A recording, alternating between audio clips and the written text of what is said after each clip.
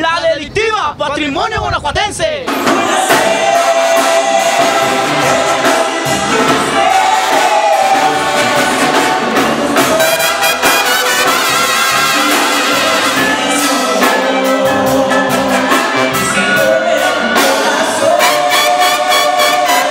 Si no está en Saps Grupero, seguro no ha sucedido.